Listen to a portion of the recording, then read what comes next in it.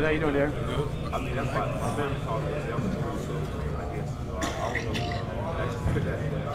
Derion, how about how, how's the week been for you so far? I mean, it's, it's been a good experience, just taking it all in, uh, getting to really know everybody uh, from around the country and also the coaches as well. What are some things you're looking forward to showing here? Uh, just the way I move, you know, movement, stuff like that, and just you know I've been perfecting my craft over the couple, last couple months.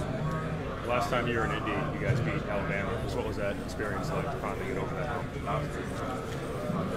As y'all know, uh, the first game, first game didn't go how we wanted to, but uh, just to have that second chance, yeah, it really meant a lot to us. Uh, just having that second chance, being able to and being able to play the best once again, and like it's hard to beat a good team twice. So uh, just going out there and prove what we can do. What will it take for Georgia to stay on top of Alabama, kind of going forward here? Yeah, uh, I say not really worry about the past. Uh, the past don't you know don't lead up don't lead over to the next season. Uh, just starting over, get get back in your routine, and just keeping your head down and working. Did you sense that the past losses to Alabama might have been in the guy's head a little bit? I mean, you'd beaten Alabama at Clemson before, but did you sense there was something a little different when the dogs matched up with Bama the first time? Uh, yeah, we uh, came in did did a couple things differently that we that we normally don't do uh, that we did during the season. And that second game, we got back to the basics basically. Got back to the basics, do, do what we normally do, uh, offensive and defensively, and it just showed showed what we can do. How was how did the teams Clemson and Georgia? And again, this is it's fascinating to talk to a guy that was a star on both teams. How was the approach different against Alabama for Clemson versus Georgia? How they approached the Tide? Uh, really, for the for the national championship, it, it's pretty much the same. Uh, you know, just going out there with confidence, knowing that you you've been the best all season, and just going out there and putting it all on the line. Um, as far as like you know schemes and stuff like that, we we you know we we playing differently, playing different for uh, different personnel. So uh, I just say personnel and scheme wise, that that was different. Derion, what was your perspective of Kelee's pick six uh, from a guy that I guess you were on the field, right? Yeah, uh, I was proud of him. Uh, like, you know, a couple drives before that, like I was telling him, like, I need you, I need you right here. Like, this, this our last chance to show, to show, and to close the game. And that drive come, he catches the interception, and I was on the other side of the field. I was like, yeah, nobody's catching him. He, he's a 4-3, 4-3 type of guy, and I was like, yeah, it's over with. Have you, have you met with the Steelers at all, whether formally or informally? Yeah, yes, sir. Okay, how did that meeting go? Uh, it went pretty good. Uh, you know, just talking over some ball and stuff like that. Uh, not what I didn't do in the uh, in the Senior Bowl. So, uh, just you know, giving them my, my field side, see what I can do. You know, intelligence and stuff like that. What's When what's matched Dan up- Lanning like as a coach? What's Dan Lanning like as a coach? Uh, a lot of energy uh, in meetings and on the field. Uh, he comes in and you know tries to put it on us uh, just to get better each and every day, one percent. How would you describe the simulated pressure that you guys utilized for a cornerback position? How did that? How was that different for you, maybe, than what you were doing at Clemson? Uh, we had some of that. We had some of the same, you know, kind of blitzes at Clemson. Uh, it wasn't. It wasn't truly new to me, but uh, we we did it a lot more at Georgia. Uh, so, you know, getting getting those reps and just being able to switch things up instead of bring, you know, bringing linebackers, bringing safeties most of the time. You just bring the corner and you know hit hit home. What was it like covering Jermaine Georgia? What was your reaction when he went to Alabama? Uh, great, great player, uh, smart player.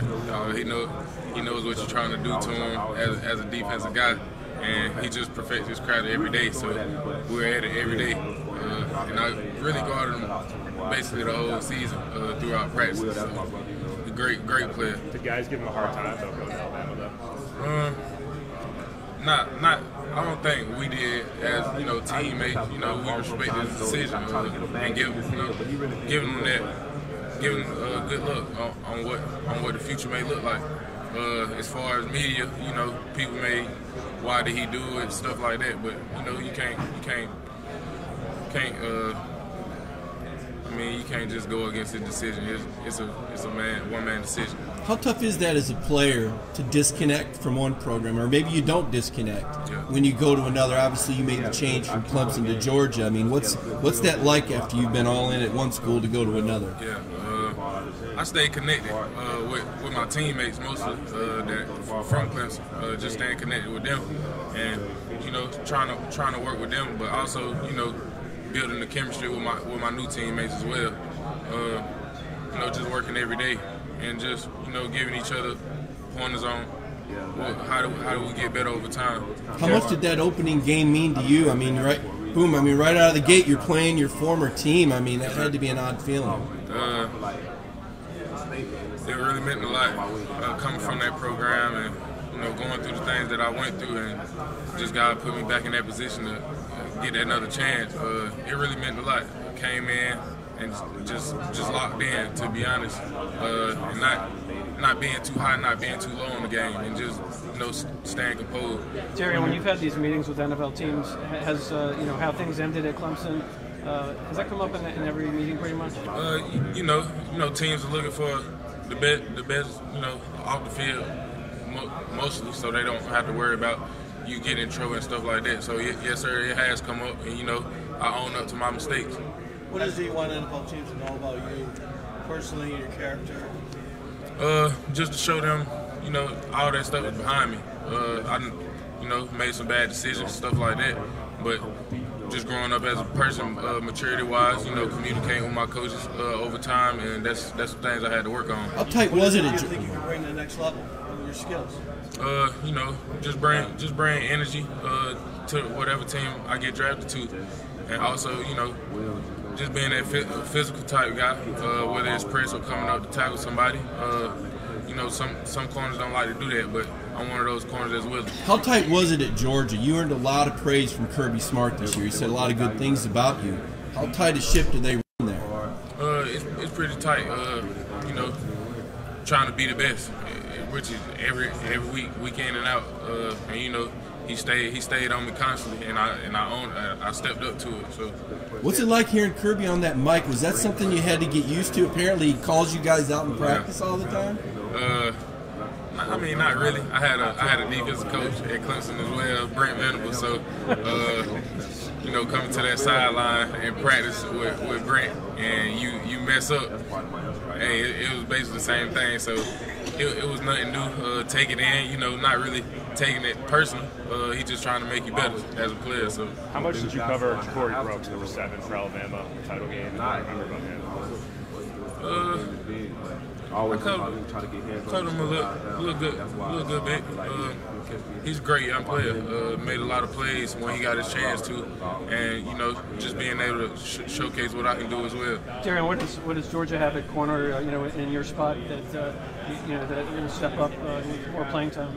Yeah, um, well, you know, Kelee Ringo, uh, which is one corner, and then you know a couple young guys, Kamari Lassiter, uh, Green, people like that. Also freshmen that's coming in. So uh, just trying to go back and tell them guys like, hey, it don't matter what age you is, what, what age you are, you can be a leader. You you can go out here and perform as well as anybody. So. Derion, obviously Coach Muschamp had a couple of different roles while he was with y'all at at Georgia, but just what was his kind of impact on, on you and, and the, on the defense as a whole as well? Um, he was really a mentor to me. Uh, you know, just being there when I need when I need a shoulder to lean on.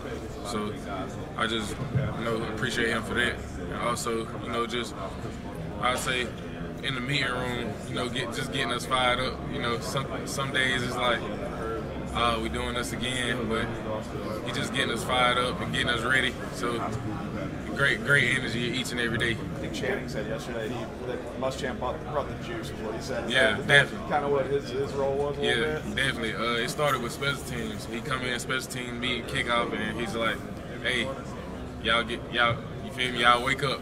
So, uh, it, it, he definitely brought the energy each and every day, whether it's on and off the field. So, You mentioned playing for Coach Venables. Just for people who haven't been around him, experienced him, how would you kind of describe playing for, for, for Coach Venables? uh, loving guy, uh, loving guy. He he also brings amazing energy, as y'all see on TV. Uh, and then you know just trying to make you better, uh, whether it's in the film room, off the field, and just constantly staying on you to make you that better player. Derion, you faced a lot of guys that are already in the NFL. You faced guys who are going to be in the NFL. Which wide receiver gave you the most trouble? Uh,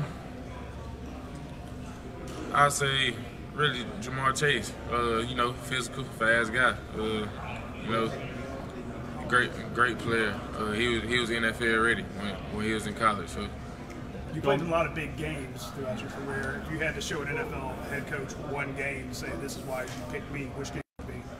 I say my last game, uh, Alabama. Uh, just you know, going out there and getting that second chance and going, you know, showcase what I can do. Uh, just you know, locking up that one side of the field. When did you realize you had won a, another title?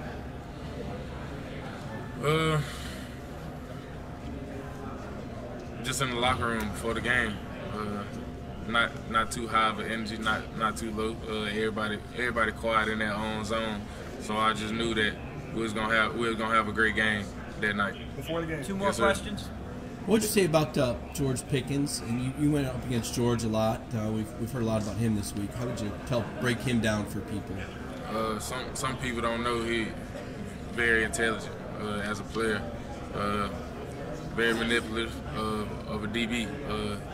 Gets you leverages, knows how to break you off, stuff like that. And point of attack is crazy. Uh, he goes to get the ball, great hands. So a great. He's a he's a tough guy to cover. Can you But- tell me a little bit about your uh, like your film work before the Alabama game on Jameson Williams? I know you played him a couple times. He didn't make it through. Mm-hmm. Unfortunately, had the injury in the last matchup. But what was the film work like for you heading into that game? Uh, pretty much the same as the first game.